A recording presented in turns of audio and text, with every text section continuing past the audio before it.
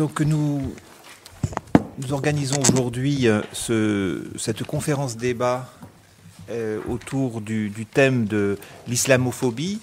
nous avons intitulé cette séance Le sociologue face à, à l'islamophobie et c'est bien à l'occasion euh, de la sortie du numéro spécial consacré à la sociologie de l'islamophobie, euh, de la revue Sociologie. Donc, euh, vous avez ici des exemplaires pour ceux qui voudront regarder de, près cette revue et ce numéro spécial.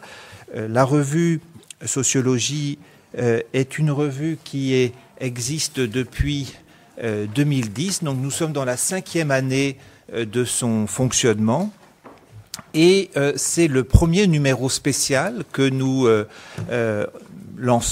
euh, c'est une revue qui se caractérise habituellement par le fait de publier des articles en, varia, c'est-à-dire que nous ne cherchons pas véritablement à, publier des numéros spéciaux. Nous pensons d'ailleurs qu'il est, est bon que des revues généralistes puissent publier les articles au fur et à mesure qu'on les reçoit, euh, avec euh, une pluralité de, rubriques dans cette revue. Nous avons une rubrique euh, enquête pour mettre l'accent sur la production justement sociologique, une rubrique aussi théorie et méthode. On aime bien discuter de justement à travers cette revue des, nouveautés ou, des textes plus anciens en référence à la tradition sociologique.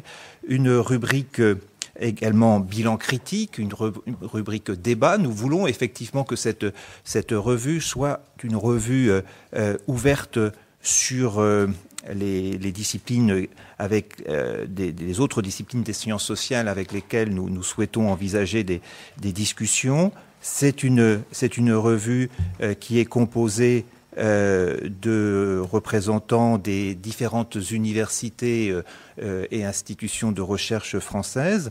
nous avons essayé, dans la composition de ce comité de rédaction, de couvrir à peu près toutes les, les, toutes les régions universitaires françaises. Donc, ce n'est pas une revue parisienne, c'est une revue qui essaye de couvrir la diversité des des, régions des, et, des, laboratoires de, recherche et des, départements de, sociologie.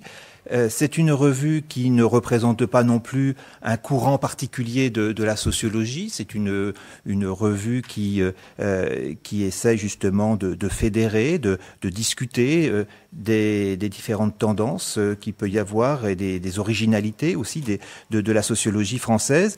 Elle est ouverte également sur euh, euh, la sociologie euh, telle qu'elle se pratique dans les autres pays. Nous essayons effectivement d'avoir des collaborations avec des, chercheurs étrangers.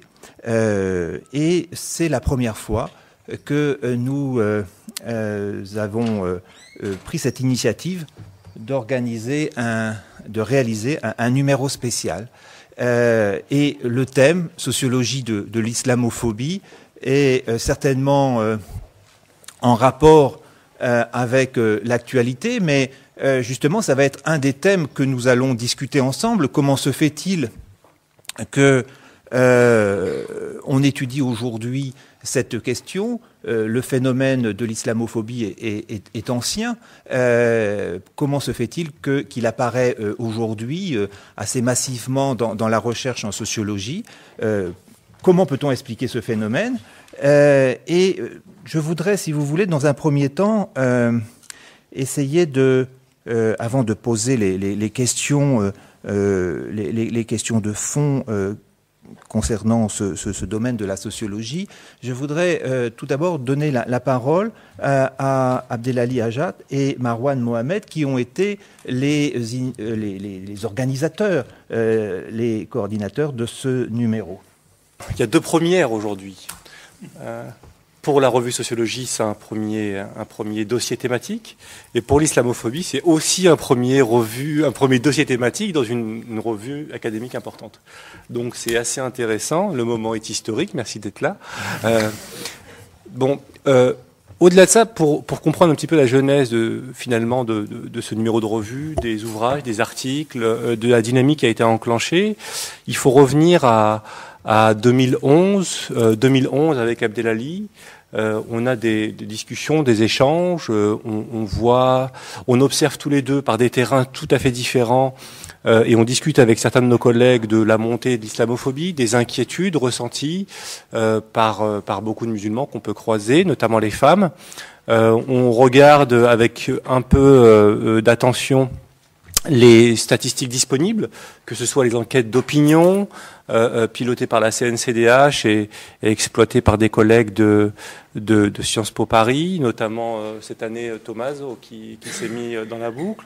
on regarde les données du ministère de l'Intérieur, celles produites par le collectif contre l'islamophobie en France, qui tente de recenser les actes islamophobes renvoyés par les victimes euh, depuis 2003.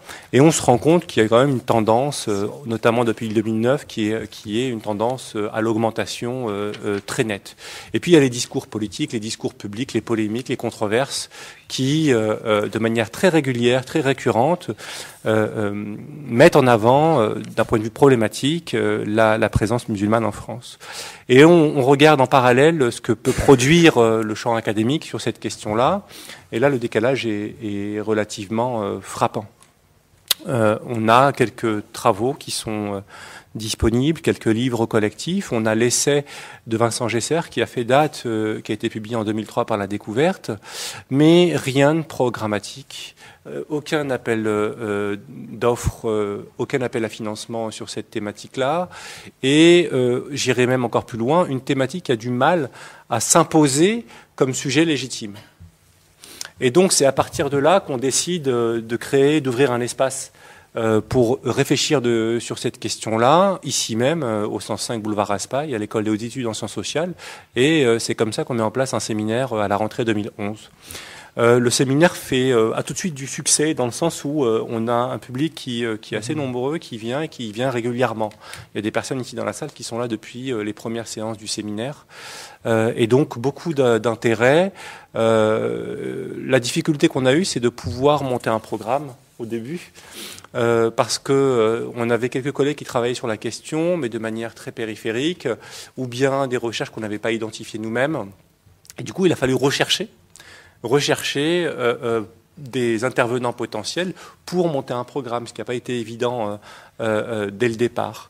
Et c'est comme ça euh, qu'on a, alors en 2011, le, séminaire a été renouvelé en 2012 avec l'appui de Ouda Al-Sal, qui est ici, et puis en 2013, on l'a, on l'a renouvelé, on est dans la troisième année. Et donc, c'est comme ça qu'on a eu connaissance de travaux en cours, c'est comme ça, euh, de fil en aiguille, euh, qu'on a réussi à faire intervenir un certain nombre de collègues. C'est comme ça qu'on a découvert euh, les travaux notamment de Tommaso et de Bruno sur le cas d'Oriana Falacci, ceux de Françoise Lorcerie et bien d'autres, sur cette question-là du problème musulman, de l'islamophobie, du rejet, etc., quelles que soient les entrées adoptées, il y en a plusieurs. De là, beaucoup de lectures, beaucoup d'interventions, quelques terrains, et puis l'écriture d'un livre. Et euh, en, ayant pris connaissance justement de tous ces travaux en cours qui est en train d'aboutir, etc., c'est là que l'idée euh, euh, d'en faire un numéro de revue a été discutée avec, avec, avec Serge, et puis au sein de la, du comité de, comité de rédaction de comité éditorial de la revue sociologique, les choses ont pu se faire progressivement. Donc voilà la genèse. Tout à l'heure, Serge, tu parlais d'enquêtes massives. Euh, peut-être qu'elles font du bruit en ce moment un peu médiatiquement, mais dans les universités, dans les laboratoires, il n'y a pas d'élan très important. Euh, sur ce, sur ce sujet-là, on n'y est pas, est pas encore, et pour cause, euh, on, on, est en train là collectivement de poser les jalons de cette sociologie de l'islamophobie en France, qui permettra dans les années à, venir de servir de point d'appui à un certain nombre d'étudiants pour traiter cette question-là. En France. En France, bien sûr. Je parle du cas français. Et seulement du cas français. Euh, la situation de nos collègues euh, nord-américains, britanniques, euh, même allemands ou néerlandais est sensiblement différente. La sociologie de l'islamophobie en langue anglaise, elle, est, elle devient massive, difficile à suivre maintenant. Justement, ça. Alors peut-être que, que je, justement, je voudrais un petit peu euh, organiser le, débat euh, autour de, trois, grands thèmes. Tout d'abord, s'intéresser à, la genèse justement des, recherches sur euh, l'islamophobie. je voudrais vous, poser une question, vous qui maîtrisez bien ce domaine.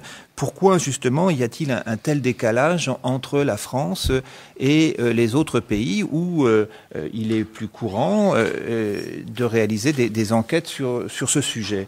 Est-ce qu'il existe des, des, facteurs vraiment français qui peuvent expliquer ce, retard que nous avons pris? Ça, c'est vraiment la, première question.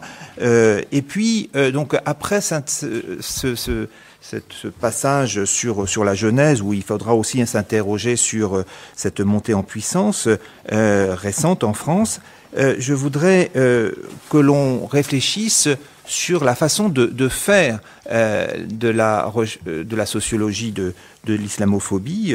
Quelles sont les, les prénotions qu'il faut dépasser, euh, la question de, la neutralité, du rapport à, l'objet, euh, quelle réflexivité euh, doit-on avoir quand on étudie euh, cette question? Et troisième partie de, cet après-midi, j'aimerais que, à travers aussi les, expériences qui, d'enquête qui, ont été réalisées, quels sont les, programmes, les, recherches que l'on peut envisager, comment s'y prendre pour consolider ces premiers acquis.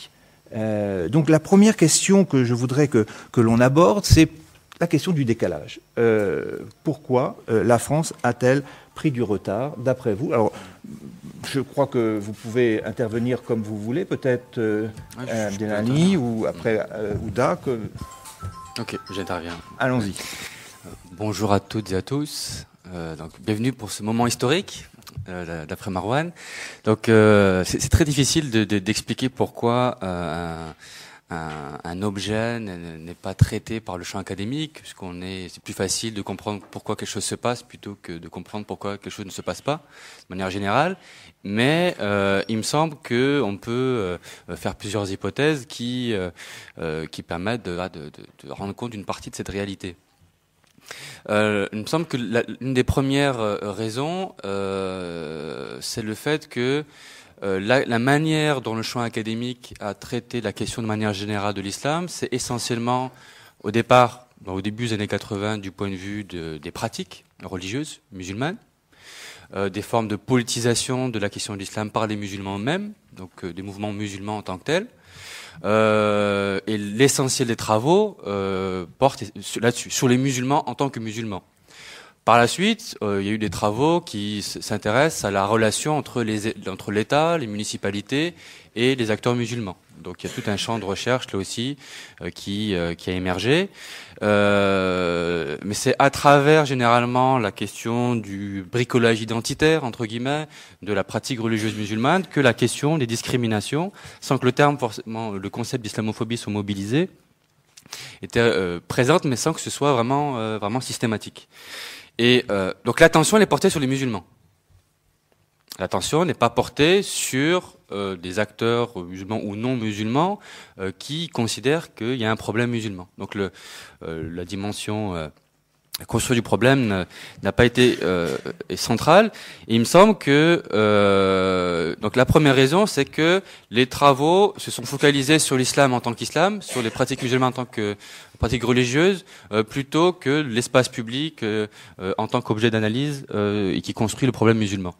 Euh, deuxième euh, raison, c'est euh, les effets des controverses publiques sur l'islam dans le champ académique. Comme vous le savez, les différentes affaires de 89, le 2003-2004 suscitaient beaucoup d'émotions. Certains parlent d'hystérie collective, et ces controverses ont eu des effets, à mon avis, inhibants. certains chercheurs comme Laurent Mukieli parlent de myopie intellectuel. Euh, donc, euh, euh, puisque c'est un objet très chaud. Donc, c'est parce que c'est un objet très chaud euh, euh, que des chercheurs qui s'intéressent de manière générale aux questions des discriminations ou la question de la construction de l'espace public, sur, sur la question de la formation de l'idéologie dominante entre guillemets, n'ont pas véritablement traité cette question. Après, si euh, on, on, a lancé nous-mêmes ce séminaire, c'est difficile de faire euh, preuve de réflexivité en public. Euh, il faudrait euh, donc s'intéresser à notre propre trajectoire, l'état du champ universitaire. Peut-être qu'on est des outsiders qui souhaitent se positionner dans dans le champ universitaire. je sais pas, sûrement que c'est une manière de peut-être se créer une niche. on a intérêt aussi à, à construire un objet qui n'a pas été traité par beaucoup de monde dans le champ académique. Donc il y a des logiques de distinction aussi qui font que on s'y intéresse. Mais bon, j'arrête là. Le, euh, je sais pas si ça a marché, si c'est, s'il y a eu retour sur investissement entre guillemets.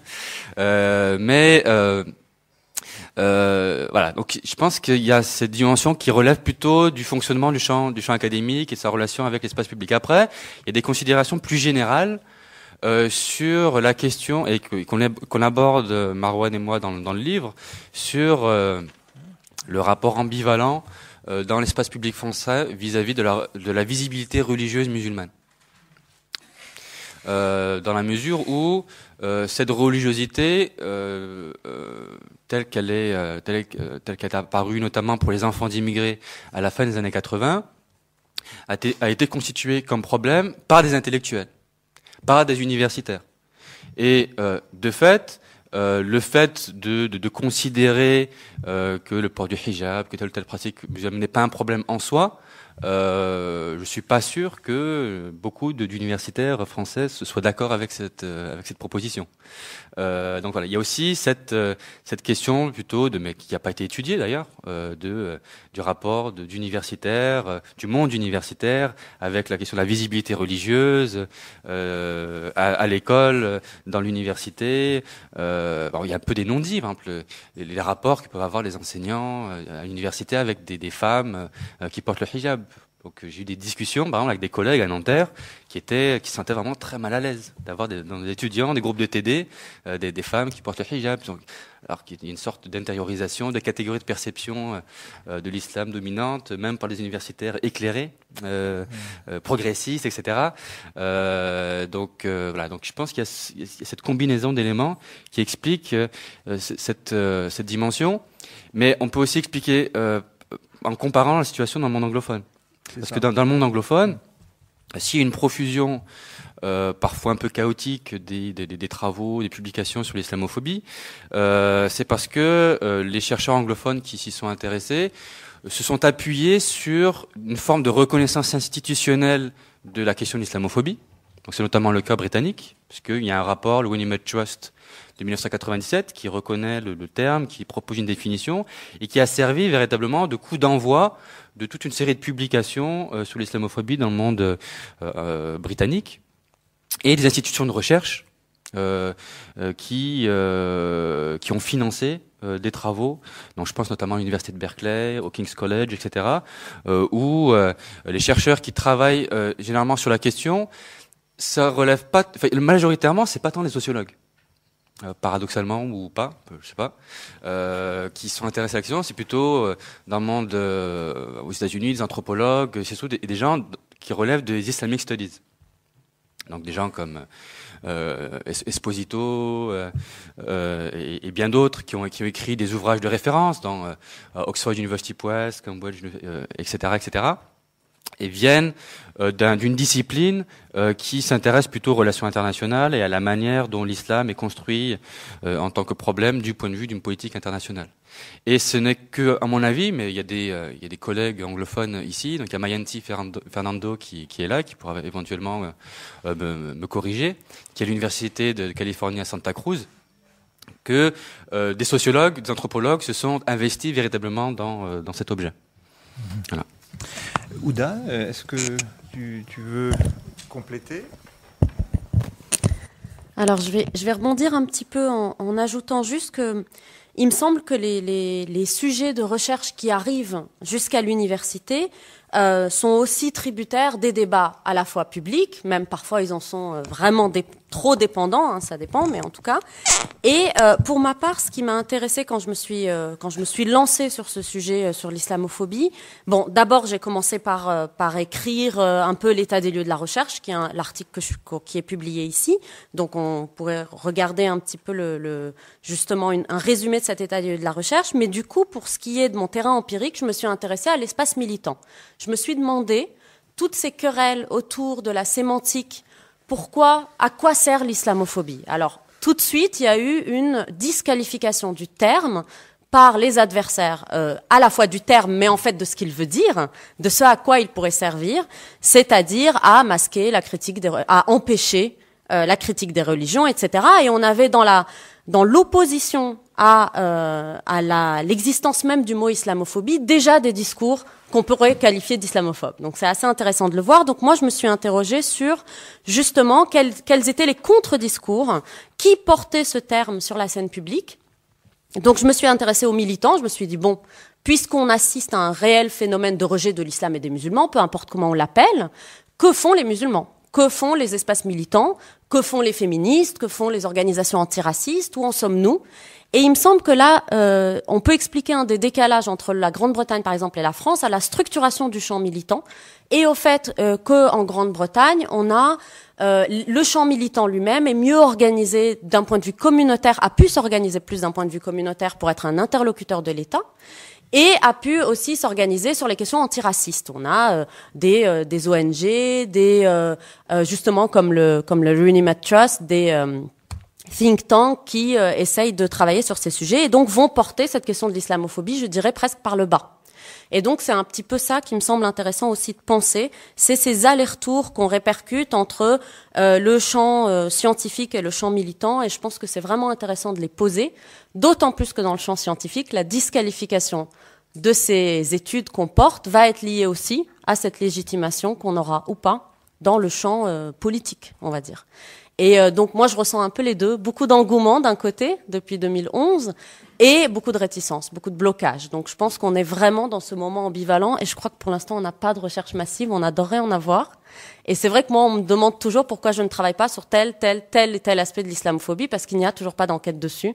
Donc là encore, je le fais euh, comme je le fais à chaque fois, euh, un appel à mener des recherches vraiment empiriques sur ces questions. Et je pense qu'il y a là une nouvelle génération de chercheurs qui va arriver là-dessus des masters, des doctorants qui commencent à s'intéresser euh, à ces sujets. Je pense que ça, ce sera intéressant à observer.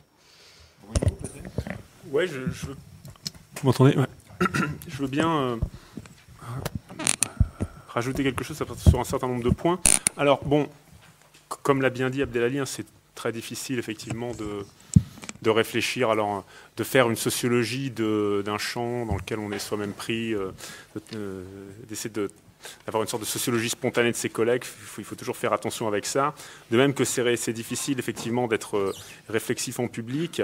Alors ceci dit, euh, bon, pour ceux que ça pourrait intéresser, donc effectivement, nous on a écrit, on, on travaille avec Thomas sur euh, notamment les intellectuels islamophobes en Italie, en particulier le cas de Oriana Fallaci. moi, si vous voulez, l'anecdote fondatrice pour moi, elle est très claire. C'est-à-dire qu'en fait, en 2001, on était un mois après le 11 septembre avec euh, tout le monde qui parlait effectivement de ce que ça allait changer ou pas euh, pour euh, la géopolitique mondiale, la façon de vivre, etc. tout le monde, évidemment, à ce moment-là, écrivait sur le terrorisme, l'islamisme, le clash des civilisations, etc. Donc je m'intéressais comme ben, plus ou moins tout, un chacun. Sauf qu'à ce moment-là, je venais d'arriver, en fait, enfin, j'ai grandi en partie en Italie, mais je venais de revenir en Italie pour faire du terrain sur autre chose. Et euh, il y avait simplement ce livre hein, qui a été écrit par Oriana Fallaci, qui a commencé à monter en fait et qui s'est trouvé en tête des ventes de livres. il était en tête des ventes de livres en fait depuis euh, depuis deux semaines. Et euh, tout le monde le tout le monde le lisait. Je prenais le métro. il y avait une personne sur dix dans le métro qui l'avait entre les mains, etc. À un moment, je me suis dit que c'était pas possible, voilà, d'être voilà dans le pays comme ça sans s'intéresser à ce, à quoi les gens s'intéressaient. Simplement, je l'ai pris, j'ai commencé à lire. Je me rappelle toujours. J'étais dans le métro et j'ai eu l'impression de lire en fait une sorte d'adaptation du Mein Kampf euh, à propos des musulmans, je me suis dit c'est pas possible. Et du coup, c'est vraiment une sorte de, a, le premier mouvement avait, a vraiment été un mouvement d'ahurissement qui m'a fait me dire en fait, euh, je crois connaître l'Italie, peut-être que je connais pas l'Italie. Comment ce truc est possible Pourquoi tout le monde le lit Pourquoi surtout euh, personne ne s'insurge Comment ça se fait qu'on parle de cet intellectuel en, termes, dans des termes tout à fait cibles voilà, et, voilà. Après pourquoi j'ai continué à travailler sur ça depuis 12 ans, 13 ans, ça c'est une, une, autre, histoire. Mais en tout cas, donc, L'anecdote fondatrice, c'est un peu celle-là. Alors, en même temps, je peux pas, je peux plus difficilement botter en touche en disant Ouais, je peux, je peux plus difficilement botter en touche euh, sur euh, la question. Enfin, je peux pas botter en touche sur la question de Serge parce que, de fait, euh, notre travail est à l'intersection d'une sociologie de l'islamophobie, du racisme anti-musulman et d'une sociologie des intellectuels. Euh, du coup, euh, forcément, c'est un peu des questions sur lesquelles, euh, y compris donc des intellectuels, en, incluant donc évidemment aussi les universitaires, donc c'est un peu des questions qu'on qu se pose avec Tommaso, bien entendu. Et alors, ce qu'il faut préciser, c'est que donc nous on travaille sur le cas italien et que en Italie, précisons-le quand même, la sociologie de l'islamophobie est encore moins développée qu'en France. Et ça, ça, vous paraît peut-être difficile à croire, c'est voilà, c'est comme ça. Ce n'est pas un sujet qui est en revanche, euh, le sujet de l'islamophobie n'est pas particulièrement polémique. En tout cas, il l'est moins qu'en France. Donc je ne vais pas trop parler de l'Italie maintenant, mais les raisons, il y, a plusieurs, il y a plusieurs raisons à ça qui sont en partie euh, liées à en fait une, euh, un nombre beaucoup plus restreint en fait de chercheurs qui potentiellement peuvent s'intéresser au sujet. C'est-à-dire que donc en fait il y a euh, la sociologie même des migrations. En tout cas, maintenant s'est développée très fortement au cours des 15 dernières années, mais au moment par exemple où le livre de Falace est sorti, elle était un peu moins développée qu'en France. Il, existe une tradition orientaliste italienne, notamment qui est située à l'université de Naples, mais elle est beaucoup moins développée euh, pour des raisons évidemment qui tiennent à une histoire coloniale de moindre ampleur, pour le dire comme ça dans le cas italien que dans le cas français. Et il y a aussi le fait que euh, l'anthropologie euh, et également, euh, là aussi, historiquement moins développé. C'est-à-dire que de toute façon, le, nombre de chercheurs en sciences sociales et de professeurs de sciences sociales est beaucoup plus restreint en Italie qu'en France. Euh, du coup, il y a également aussi une, voilà, une moins de spécialisation. Et le problème par ailleurs, disons, de, la question de l'immigration était voilà, en général moins traité. Ce sont des choses qui ont beaucoup changé euh, et qui, voilà, en partie, ont changé au cours, euh, au cours, de ces, euh, au cours des 10-12 dernières années, où effectivement les musulmans, sont, enfin les, immigrés sont de plus en plus souvent cadrés en tant que musulmans. En même temps, la montée de cette question comme quelque chose qui est présenté comme un problème dans l'espace public que les chercheurs pourraient interroger, devraient interroger, euh, a peut-être pas suscité autant de vocations qu'on pourrait euh, l'imaginer, parce que bon, euh, là c'est encore un autre problème. ça, correspondit aussi à la période où en fait l'université italienne a été très très fortement impactée par des réductions de budget, le nombre de chercheurs a diminué. Enfin, il y a vraiment aussi une crise en partie de l'université italienne qui fait que voilà le, nombre de chercheurs diminue, donc il n'y a pas y eu moins de possibilités de, de diversification. alors, le cas, il me semble, est vraiment très différent, effectivement, dans les établissements euh, et dans le monde universitaire euh, anglo-américain, mais aussi néerlandais. Par exemple, pour citer quelques exemples, où il me semble qu'en fait que le, thème, le fait que l'islamophobie ait été perçue rapidement comme un sujet légitime et comme un sujet important, est en, partie lié à la structuration en fait du, euh, du monde universitaire américain, où en plus de départements disciplinaires, vous avez des départements euh, qui sont des départements des area studies. On s'intéresse donc en fait à des régions particulières du monde, et notamment, il y a une, ça, dépend, mais il y a souvent en fait des euh, départements qui sont monde arabe, monde islamique, etc. Donc ça, c'est voilà, une première comment dire, spécialisation par thématique qui conduit des gens à travailler qui, conduit des gens à pouvoir présenter comme un objet légitime le fait de s'intéresser évidemment à l'islam et au, rejet dont l'islam peut faire l'objet. Il y a ça. Il y a ensuite le fait que vous avez aussi beaucoup de départements qui sont des départements de sciences sociales euh, des religions. Alors évidemment, on en a en France aussi, mais c'est un peu plus, disons, systématique. On en trouve euh, plus souvent dans les grandes universités.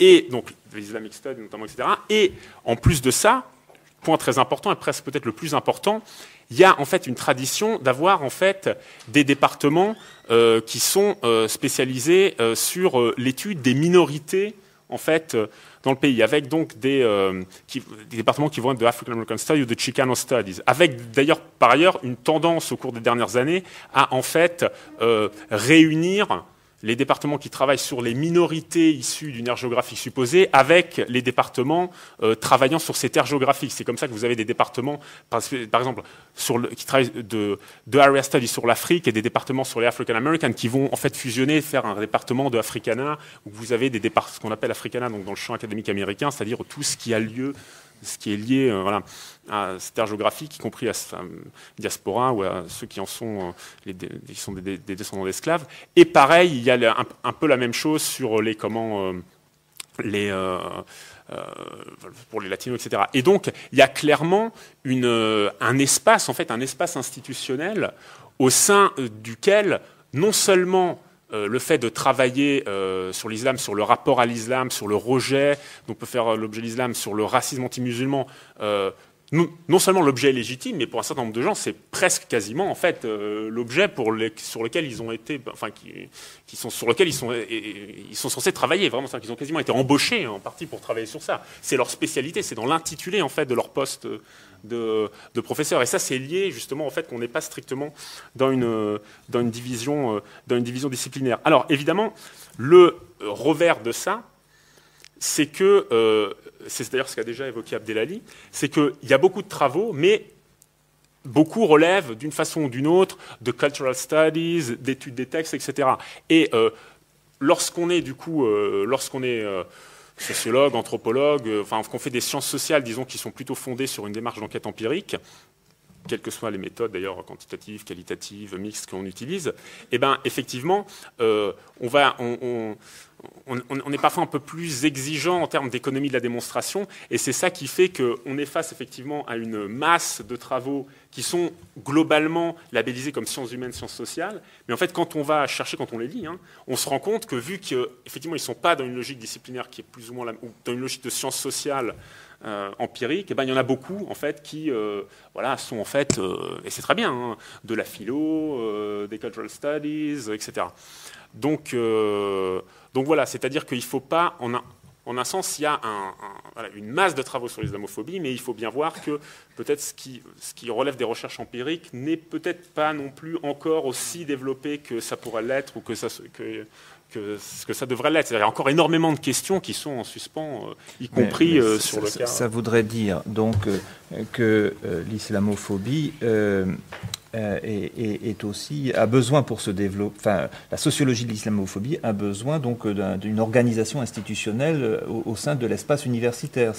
et sans ça, on ne peut pas concevoir des recherches sur l'islamophobie. Il faut que, faut que l'institution s'y prête.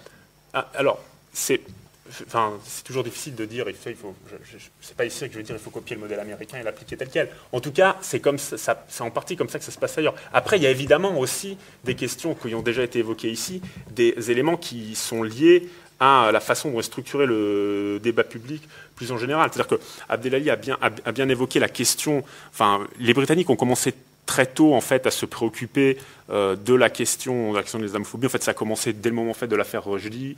Euh, voilà, donc il y a eu des moments comme ça. Dans le cas américain, il y a des euh, gens qui ont travaillé sur ça de façon beaucoup plus spécialisée. Mais je pense qu'une des choses qui a été assez importante, ça, est, le fait qu'au moment où les États-Unis sont rentrés en guerre, en fait, avec, sont envoyés des hommes, des troupes en Afghanistan, en Irak, ont commencé donc ces guerres au Moyen-Orient dans le débat américain était très donc il y avait évidemment la suspicion systématique euh, dans la politique antiterroriste de l'ennemi de l'intérieur, mais en même temps ce qui était le, la comparaison qui était souvent évoquée à ce moment-là était euh, la comparaison avec en fait les, les Japonais américains durant la deuxième guerre mondiale, dont tout, qui sont euh, qui sont restés dans la mémoire du pays comme ayant été victimes de discrimination, qui ont été internés dans des camps de prisonniers en fait durant toute la durée de la guerre, qui ont été vraiment victimes euh, d'un soupçon en fait d'être alliés avec avec les ennemis des États-Unis.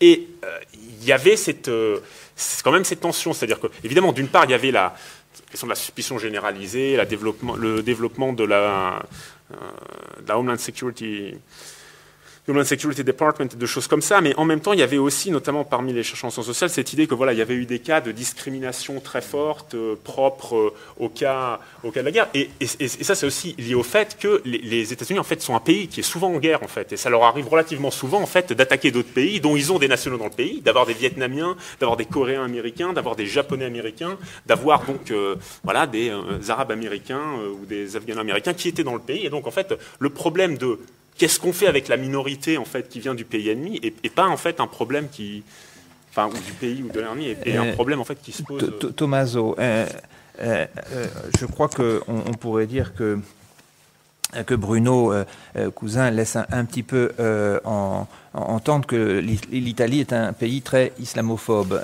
Est-ce que, est-ce que vous le confirmez? Bah, je, suis content que ce soit lui.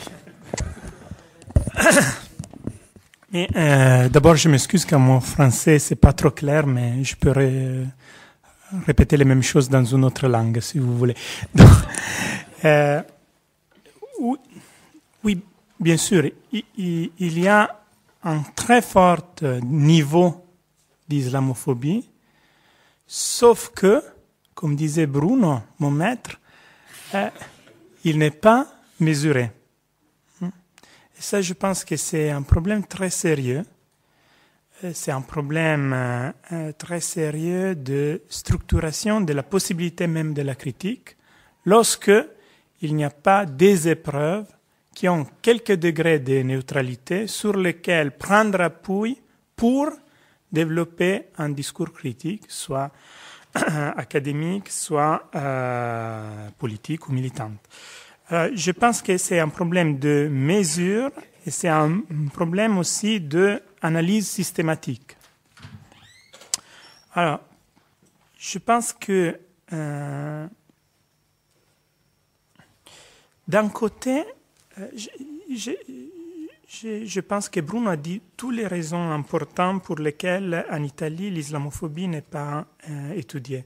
De l'autre côté, j'ajoute seulement trois raisons à côté qui complètent un peu ce qu'il disait, qui, sont très, à mon avis très importants. Alors, première chose, c'est un pays où, en général, euh, les euh, réactions de hostilité envers quelqu'un ne sont pas beaucoup étudiées. Hmm? Je pense que, en général, ce qui on a dit avant, c'est-à-dire que euh, on a beaucoup étudié l'islam, on a beaucoup étudié des objets en, en, soi et pas de façon relationnelle, c'est-à-dire dans leur interaction avec quelque chose d'autre, et notamment tous les problèmes d'hostilité sont des problèmes relationnels, c'est quelque chose qui euh, est un problème de la sociologie, je pense. Et, et qu'il y a toujours un peu un excès de, volonté de rentrer dans l'intime d'un groupe pour trouver, pour découvrir quelque chose, et on perd un petit peu des approches plus relationnelles, euh, dont toutes les études sur l'antisémitisme, la romophobie, l'islamophobie font partie. Deuxième chose que je voulais dire, c'est que, à ma connaissance, qui est bien sûr très limitée du panorama intellectuel italien, les seuls sociologues qui, se sont engagés à étudier l'islamophobie en Italie sont des sociologues urbains, c'est-à-dire Bruno, Alfredo Alietti, Dario Padovan et moi. En plus, ces sociologues urbains ils ont travaillé en couple. Donc on a seulement deux couples de personnes qui viennent plutôt des études urbaines, qui continuent. Stéphane Allievi a étudié un peu, oui, euh, entre l'islamophobie et... Mais je dirais que les, grands, les, enquêtes plus avec un contenu empirique un peu plus fort viennent surtout de ce milieu-là. Et euh, ça, c'est quelque chose d'autre qui fait penser Bien sûr, euh, c'est très lié au fait que l'approche aux études sur les discriminations ou vers l'approche plus relationnelle à l'étude des les formes d'hostilité vient beaucoup des études locales, locaux, et pas d'une sociologie de la société italienne en tant que telle. Et troisième chose que je voudrais dire, c'est que il y a aussi en Italie, exactement comme dans tous les autres pays, des question institutionnelle de structuration du champ académique. Alors, le champ de la sociologie en Italie est structuré autour de trois grandes parties qui sont l'héritage de l'histoire politique italienne. Et donc, on a trois grandes parties qui sont des courantes institutionnelles au, au sein de l'Association italienne de sociologie et qui jouent un rôle très important dans le recrutement. Je dirais presque jouent un rôle total dans le recrutement. Ces trois grands partis sont comment dire, les anciens du Parti communiste, notamment ceux qu'on appelle Mito, c'est-à-dire Milan et Turin, et, notamment Trento qui a été euh, un peu le bassin pour, euh, mais beaucoup d'autres universités, mais avec ces, trois grandes références et cette image euh, typique de Mito, la courante socialiste, qui était structurée notamment autour des universités de Florence et de Rome, mais bien plus large, et qui a beaucoup viré vers Forza Italia, comme beaucoup du Parti socialiste, et la courante catholique. La courante catholique est la plus importante en termes numériques.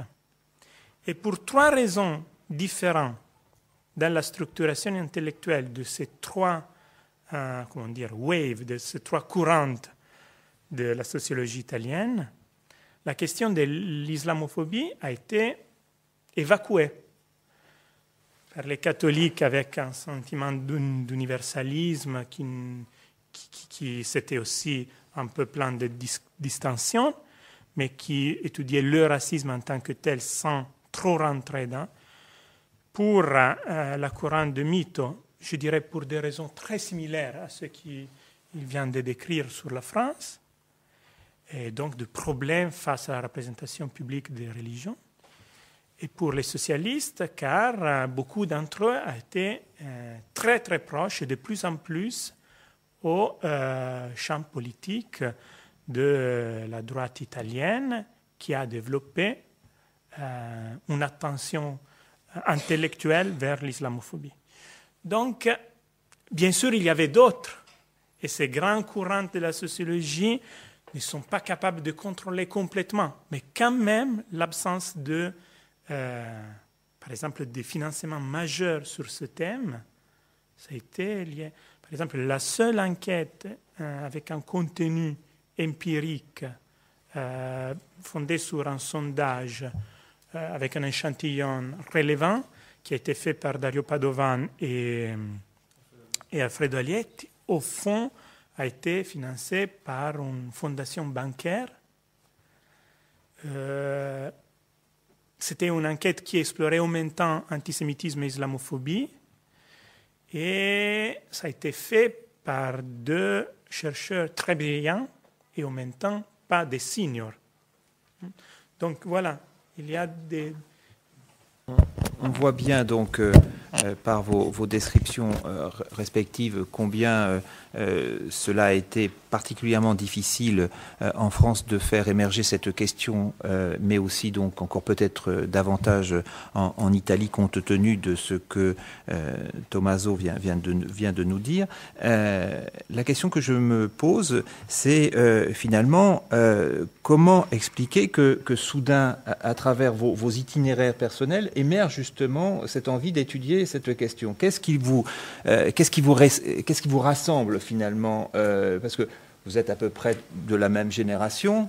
Euh, est-ce qu'il y a un effet génération? Est -ce que, Pourquoi les, anciens sociologues euh, de ma génération ne l'a pas fait euh, et, pourquoi, ça arrive? Donc c'est un peu un mystère. Euh, est-ce que, -ce, thème-là euh, a quelque chose à voir avec vos itinéraires personnels?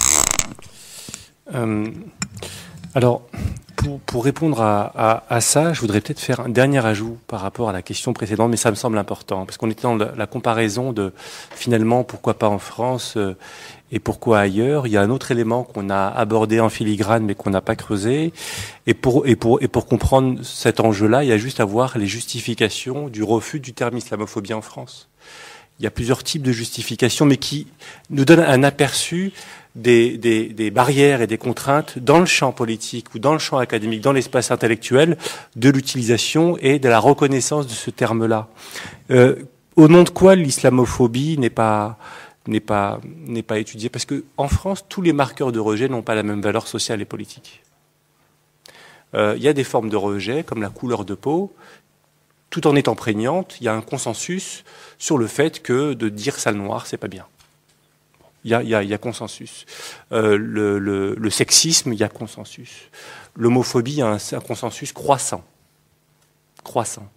Euh, sur l'islamophobie, c'est-à-dire sur le marqueur religieux, il n'y a pas de consensus. Ça n'a pas du tout le même statut. Pourquoi il n'y a pas de... Et au nom de quel régime de justification? Parce que ça nous permettra peut-être de, de, de, de, répondre à la question pourquoi une... cette question de génération. Quand on écoute les discours, euh, le refus de l'islamophobie, Houda l'a dit tout à l'heure, c'est une crainte euh, de remettre en question euh, la critique des religions ou d'aller vers une espèce d'interdiction du, blasphème. Ça, c'est l'argumentaire qui est présenté dans l'espace public, et c'est un argumentaire qui est associé à une disqualification du mot islamophobie en, en raison de leurs, des inventeurs présumés les inventeurs présumés, vous avez entendu cette thèse, c'est que le mot islamophobie avait été inventé par des mollahs iraniens à la fin des années 70. Même s'il est, né en 1910, mais c'est quand même une thèse qui a été avancée, notamment par Fourest, Bruckner et d'autres, et c'est une thèse qui a eu des effets prescripteurs. Pas plus tard que cet été, le ministre de l'Intérieur a dit euh, on n'utilise pas ce terme-là parce que c'est le cheval de Troie des salafistes et qu'il a été inventé par des mollahs iraniens. C'est le ministre de l'Intérieur avec tout ce qui a été publié, euh, il était encore euh, en train de récupérer cette rhétorique-là. Donc, euh, c'est n'est pas un petit personnage politique. C'est le ministre de l'Intérieur qui est actuellement Premier ministre. L'argumentaire, il, renvoie également de cette faible légitimité du religieux, il, revient, il, renvoie à notre histoire. La loi de 1905 et tout ce qui s'est passé au, XXe siècle a construit un équilibre accepté par à peu près tout le monde, euh, équilibre euh, qui s'est traduit par euh, une laïcisation relative dans certains endroits de nos institutions, mais une laïcisation et une, sécularisation de l'espace public. et même les manifestations de religiosité dans l'espace public de la religion majoritaire, ces manifestations-là ont été exotisées. Ça relève de la fête traditionnelle, les processions, etc. Bon, là, ça fait partie de, la, tradition locale. Euh, et du coup, il n'y a, plus de résistance par rapport à ça aujourd'hui. Vous allez au Puy-en-Velay, tous les ans, euh, il y a euh, des manifestations, des, processions, des, prières publiques, etc. Ça pose de problème à personne. Il y a un équilibre qui a été trouvé, un équilibre qui est remis en question, selon beaucoup de discours, par la, montée en visibilité des femmes musulmanes, etc. Donc il y a deux choses qui se posent. Il y a, le retour, il, y a, une autre présence de la religion dans l'espace public depuis euh, les années 80-90, mais il y a également euh, le fait que cette religion, ce soit l'islam, qui n'est pas une religion neutre euh, au regard de notre histoire. Ça joue énormément, selon moi, dans le retard pris. Ensuite, cette idée-là, pour, illustrer cette, idée-là, cette idée-là, je reviendrai à, ce propos qu'on peut lire dans un livre de Jean, Jean, Jean-Pierre Delevoye, qui est une espèce de notable centriste de centre droit, qui écrit un livre sur son expérience à l'Assemblée et qui raconte que euh, dans la préparation de la loi de 72 euh, contre le racisme et la discrimination, le marqueur religieux, le facteur religieux, sa légitimité, de l'intégrer comme les marqueurs de, racisme et discrimination, sa, légitimité était discutée. C'était le seul marqueur qui était discuté. Les députés avaient peur euh, d'être critiqués autour en intégrant le, marqueur religieux, en disant c'était une hypothèse un petit peu désuète. On est en 71, 72. C'est une hypothèse désuète. La religiosité pose pas de problème. Il n'y a pas de victime de la religiosité en France au début des années 70, selon les propos de Delevoye. Donc on est, on est passé euh, dans un, autre, euh, dans un autre registre, ça me semble important. Il y a aussi une forme de déni assimilationniste en France. Euh, euh, de la question de l'islamophobie. Pourquoi un déni assimilationniste? Parce que quand vous écoutez certaines organisations antiracistes, on vous dit la République est une et indivisible, et l'antiracisme aussi. Donc il n'y a pas de raison de distinguer. Vous avez cet argumentaire. On ne distingue que l'antisémitisme pour des raisons historiques. Pour le reste, on n'a pas à distinguer. Donc vous avez, c'est le propos de, SOS Racisme, par exemple, et d'autres euh, organisations. Vous avez également le fait que l'islam soit la religion de l'étranger. Donc une logique xénophobe, une forme de déni xénophobe de l'islamophobie. C'est la, religion de l'étranger qu'on a, donc c'est beaucoup plus difficile. Et puis en plus, c'est la, religion des ex-indigènes. Et quand vous regardez l'histoire de la présence française dans les colonies, vous voyez bien que le statut, euh, euh, le principe de laïcité ne s'y appliquait pas en Algérie par exemple, malgré la demande insistante des, mouvements de ulama, des savants musulmans qui voulaient que le principe de laïcité soit appliqué également en, territoire colonial, ce que la République métropolitaine refusait. Pourquoi? Mais en, raison du statut d'indigène et en raison du statut particulier de l'islam qui s'est construit au fur et, à mesure. Ça me semble euh, important de revenir là-dessus. Et puis, dernière chose. Les victimes d'islamophobie, c'est qui concrètement? C'est des femmes voilées. Dans l'espace public, ce qui ressort le plus, c'est des femmes voilées. Comment est construit le voile islamique aujourd'hui? Qu'est-ce qu'il représente dans un certain nombre de, discours, il est construit comme le signe, comme le signe, de, signe la marque d'une politisation de l'intérieur, comme le signe d'une menace, comme la marque visible d'une menace pour la, pour la République.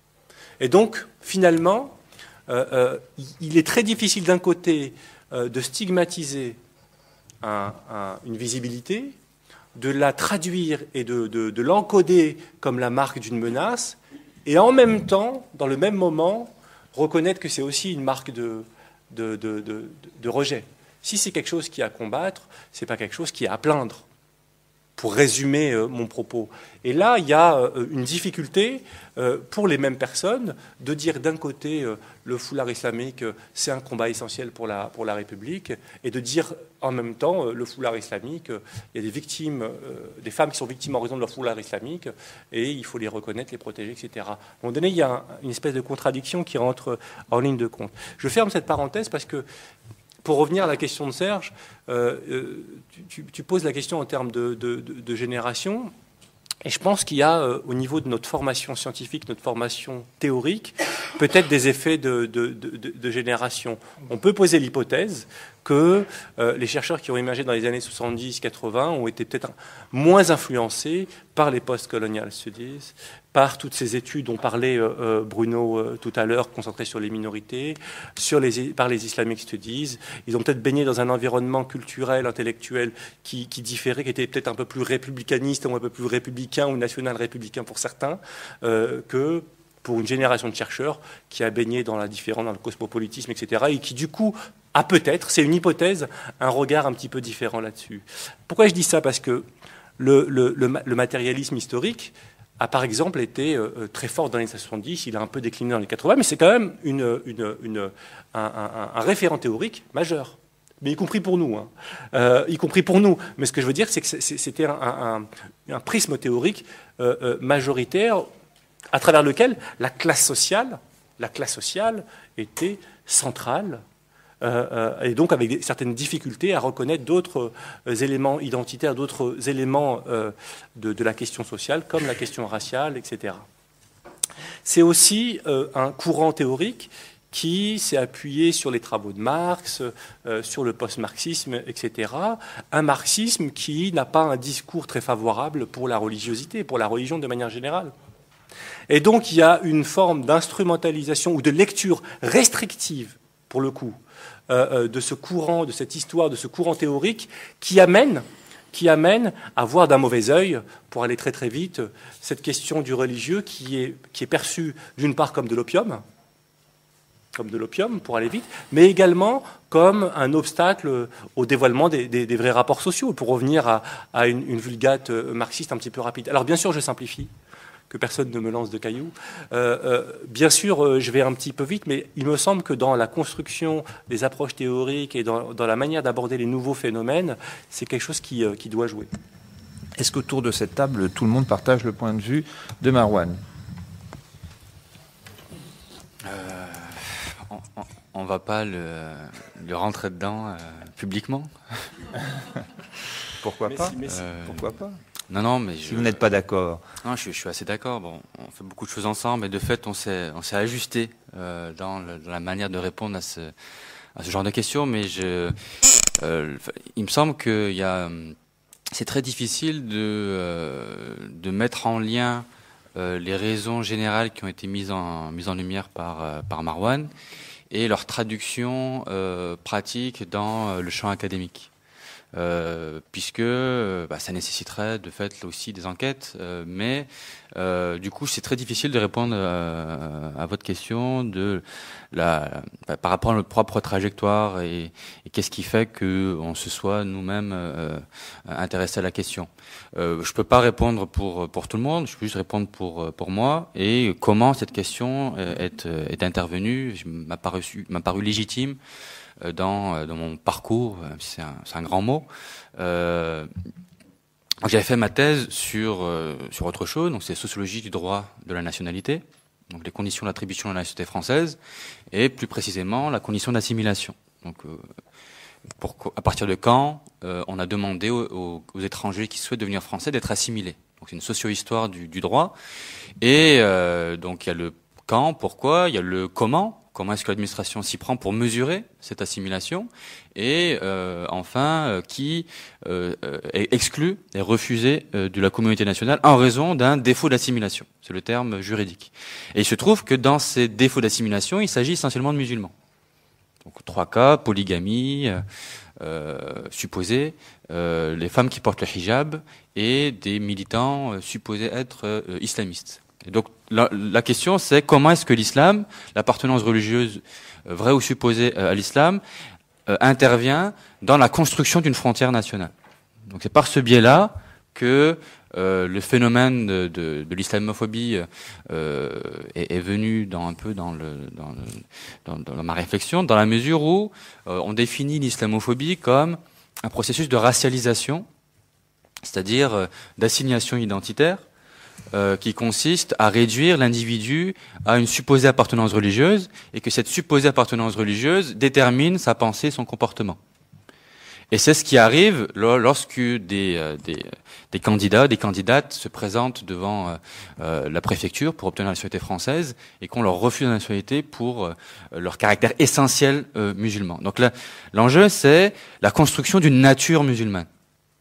Et quel est le processus de, de construction de cette nature? Donc euh, au départ, c'était dans un, un, espace très précis, donc euh, l'administration, naturalisation, et euh, euh comme un, des ressorts principaux de cette construction de la frontière nationale, c'est le droit. Donc, il faut s'intéresser bien sûr à la manière dont les lois sont votées et donc au contexte national. Donc, d'où l'idée d'élargir la perspective à l'espace public et euh, avoir une, une, approche constructiviste classique euh, là, la Gusfeld, euh, construction des problèmes publics, à partir euh, de, de, de, l'idée de, de, problèmes musulmans. Et il me semble que, bah, que quand, quand, on est dans cette perspective-là, euh, on est, euh, à mon avis, à la croisée de, de, de, plusieurs formes, plusieurs types de sociologie. Quoi. Donc moi, j'ai été formé, bah, je suis un sayadien entre guillemets. Euh, D'ailleurs, on m'a reproché ça ma soutenance de thèse. Vous êtes trop sayadien, il faut un peu plus se critiquer, etc.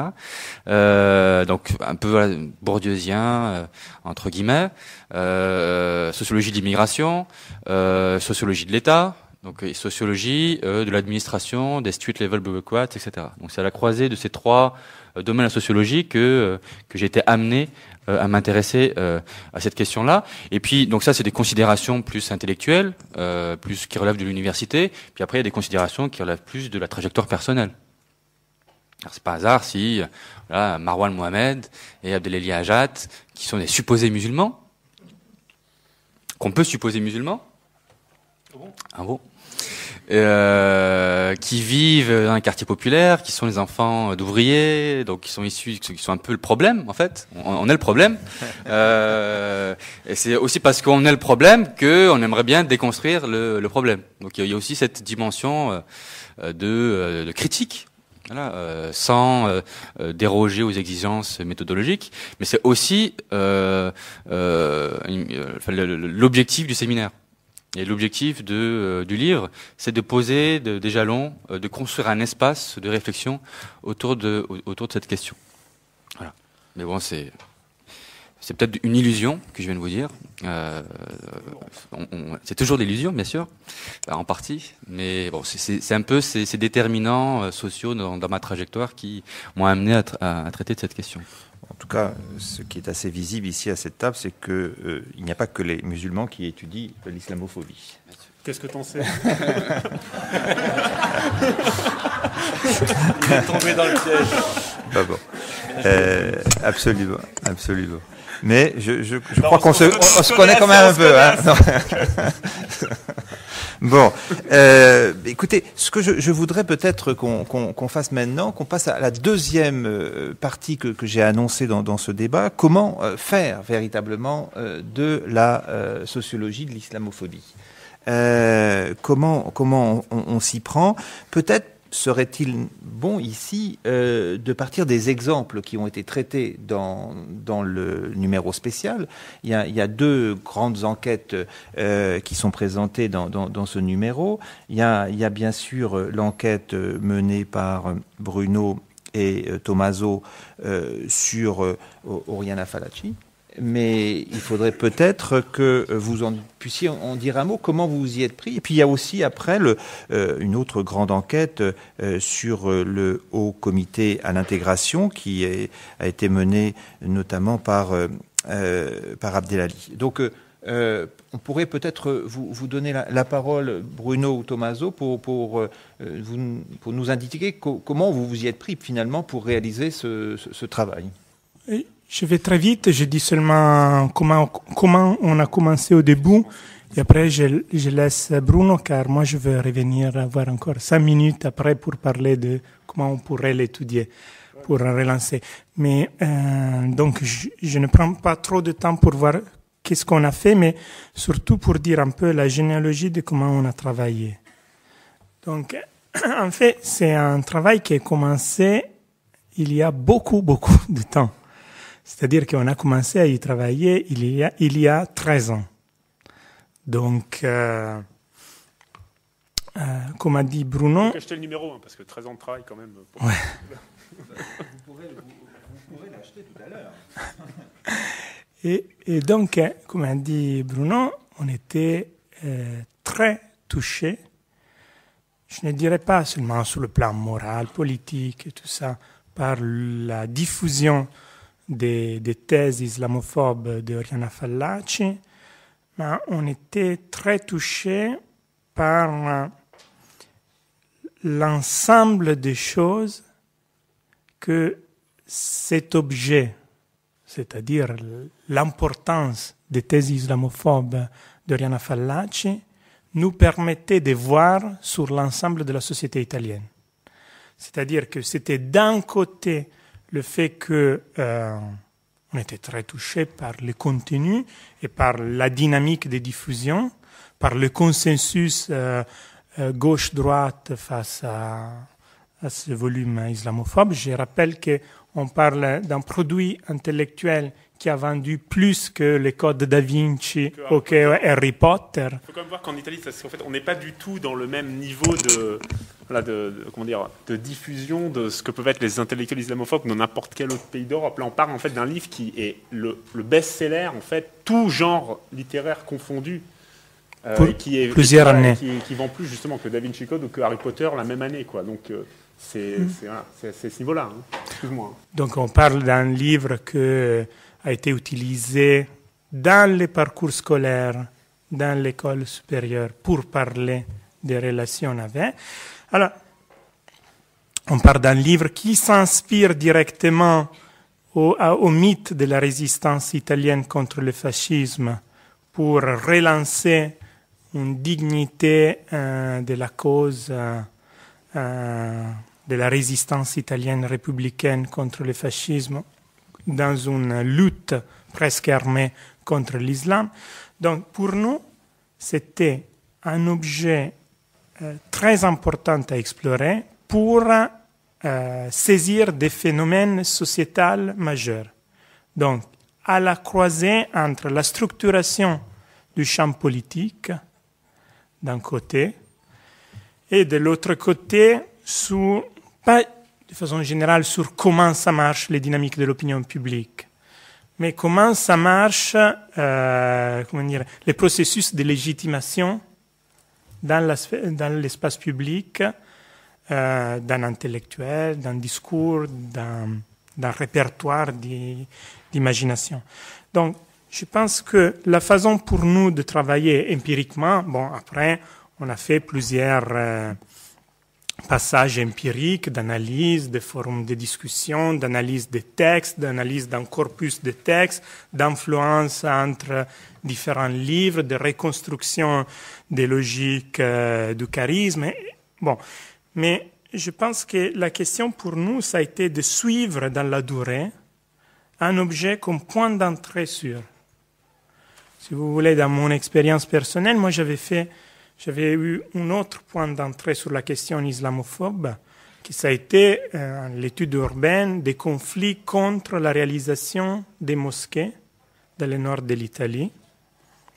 Encore une fois, d'un côté, c'était un objet majeur dans la politique locale, de l'autre côté, c'était en faisant pour rentrer Euh, C'était un, un objet qui permettait de voir des logiques de reconstruction des coalitions et de prise de décision bien plus larges.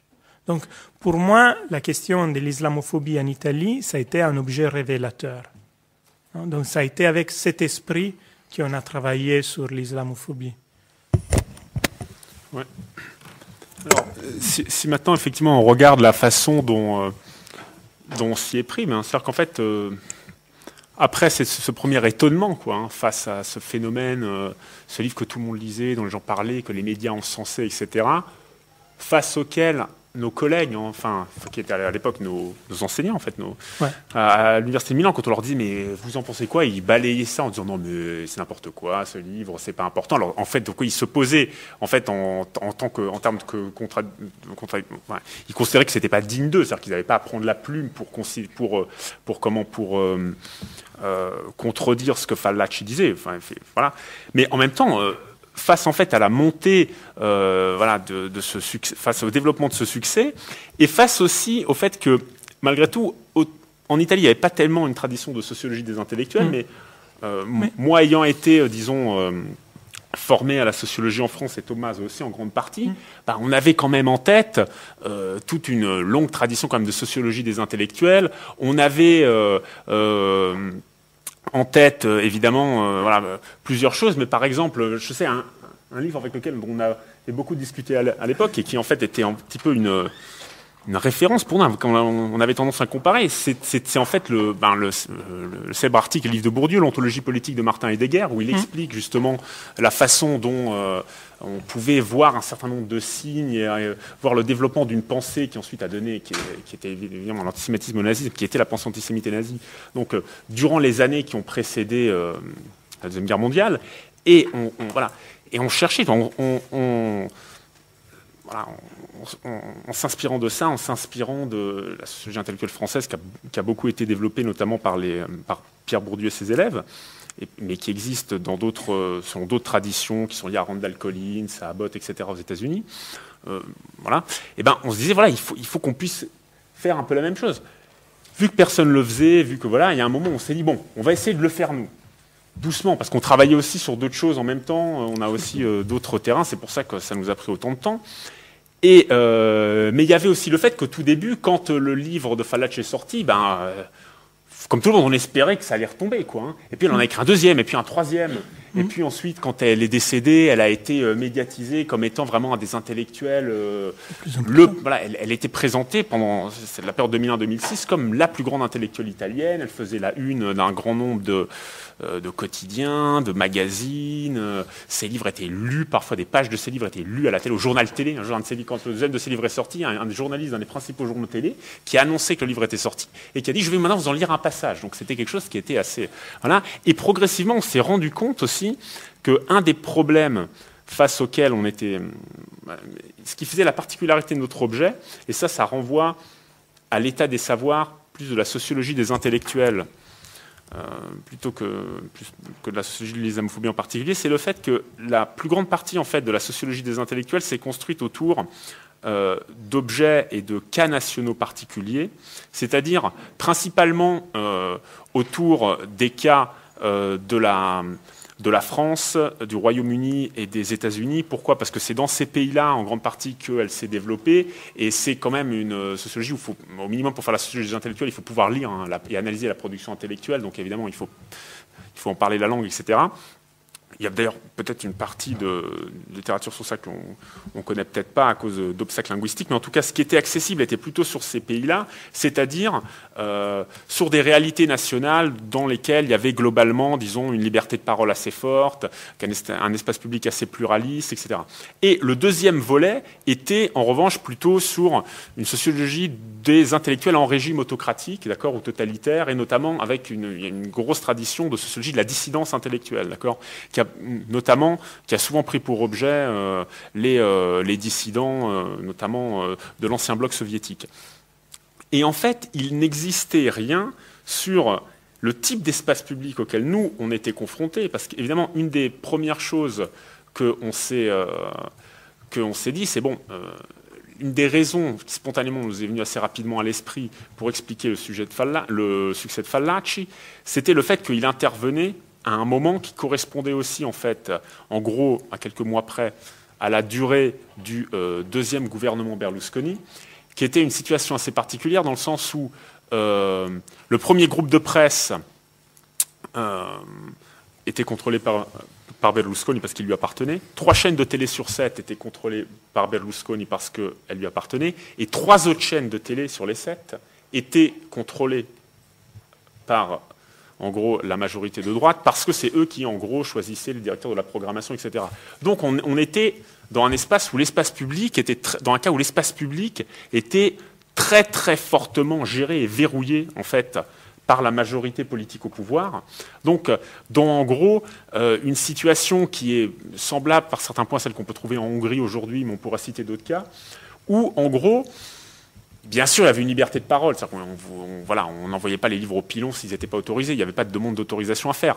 Mais on était quand même dans un cas où, euh, euh, on pouvait très facilement être marginalisé par euh, la volonté politique des gouvernement, d'autant plus que le deuxième autre groupe de presse, qui lui n'était pas contrôlé par le pouvoir, était celui qui publiait notamment Oriana Fallac et pour lesquels et pour lequel le chiffre d'affaires en fait dégagé par l'Arabe et et les autres livres qui ont suivi était loin d'être négligeable dans ces bilans dans ces bilans annuels.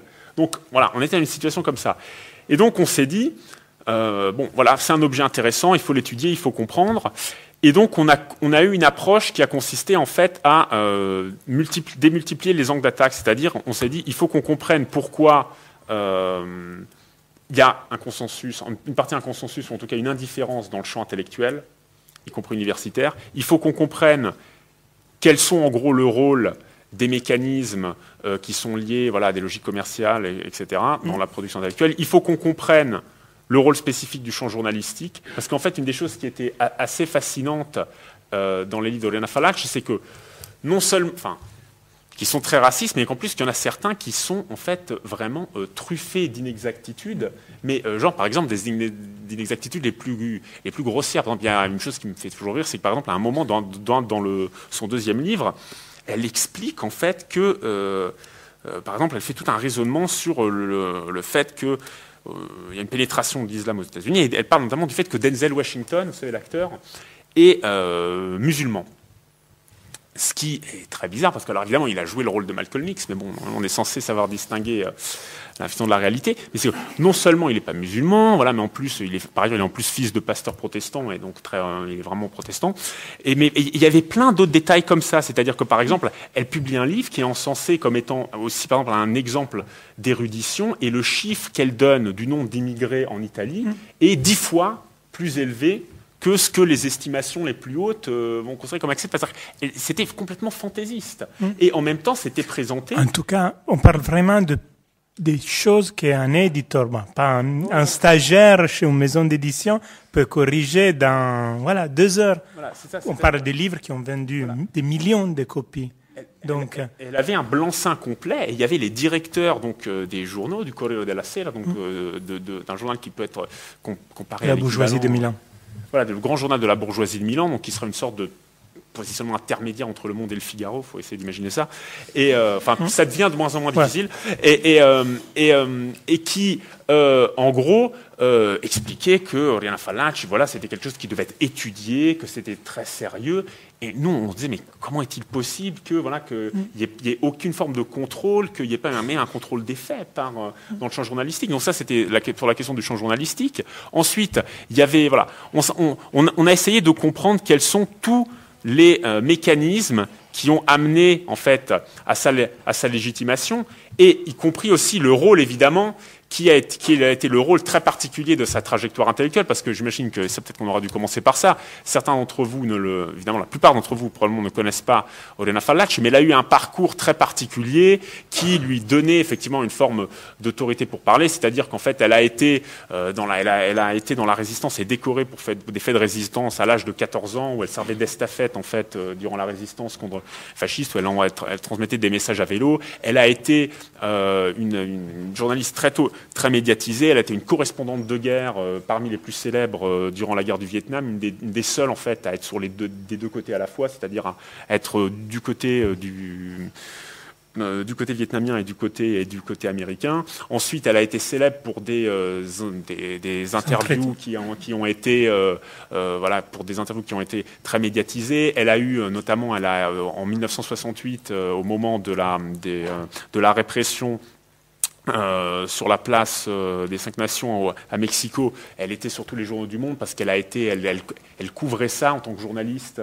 Et en fait, elle a été prise au milieu en fait de la répression. Elle s'est prise des balles de fusil mitrailleurs. Elle a été empilée, si vous voulez, euh, parmi les cadavres des morts avant de s'en extraire quand elle s'est réveillée, etc. Donc il y, a un côté épique hein, dans la vie de Olana Falachi dont elle joue clairement. Elle a été ensuite la compagne en fait de Alekos Panagoulis, qui était un des plus des, principaux opposants à la dictature des colonels, qui mm. ensuite a été certainement assassiné, etc.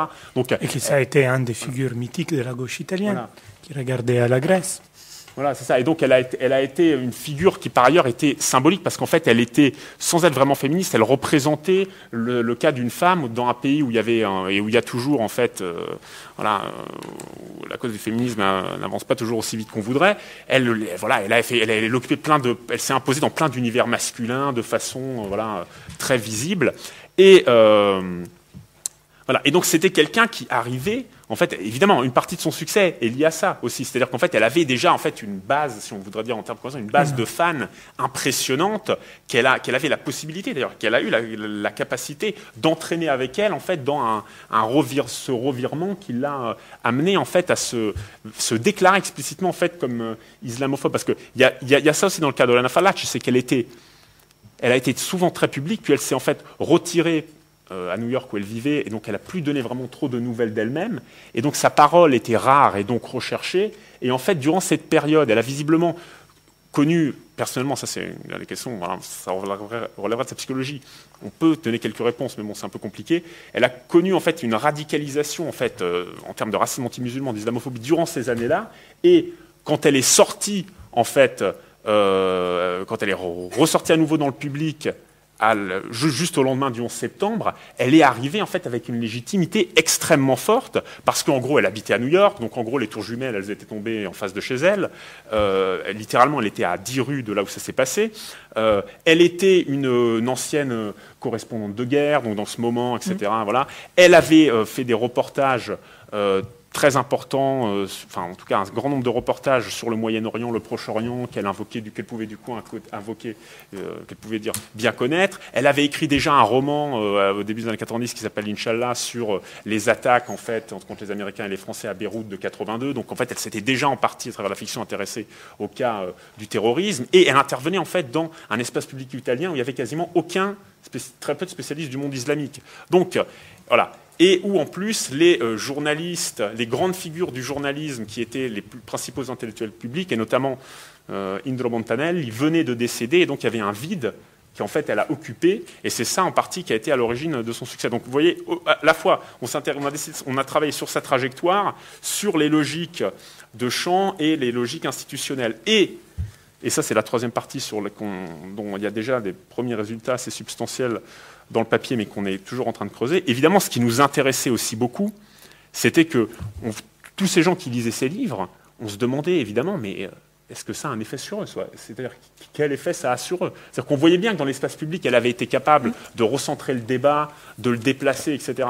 Et donc, on savait bien que du coup, forcément, si elle, euh, elle avait posé d'une façon aussi euh, explicite et virulente le problème de l'islam comme un problème public, euh, on voyait bien que ça avait des effets sur, euh, le débat public, les débats télé qui parlaient, qui parlaient de ça, etc., où elle était considérée comme une position, euh, somme toute, sa position était considérée somme toute comme raisonnable. Donc voilà, il y avait des effets sur ça, mais vraiment, on voulait aussi chercher quels étaient un petit peu les effets voilà, qu'elle avait sur, sur ses lecteurs. Et donc là, on a, mis, on a mis en place une, un dispositif de recherche qui euh, cherche à analyser la diffusion d'un certain nombre de modes de représentation de l'islam depuis ses livres jusqu'à euh, ses fans, ses lecteurs, en se fondant notamment sur les très nombreux forums, et on en a d'autres par ailleurs qu'on est en train d'exploiter actuellement, sur les très nombreux forums de fans ou de débats